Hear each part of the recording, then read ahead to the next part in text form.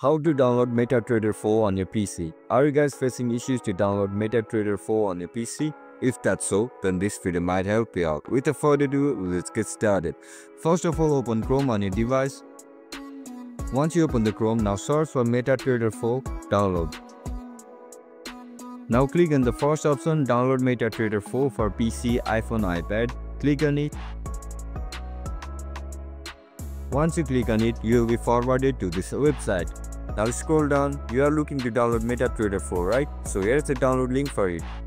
Download MetaTrader 4 for Windows. If you are using a Mac, then click on Mac or Linux. Choose it according to your device. I am using Windows, so I am going to click on Windows.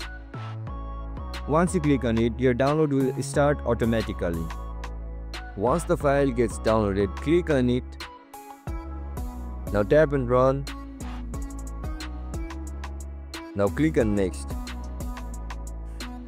And that's it guys, that's how we're gonna download MetaTrader 4 on our PC. If you guys found this video helpful, don't forget to like, share and subscribe to our channel. See you in the next one. Bye bye.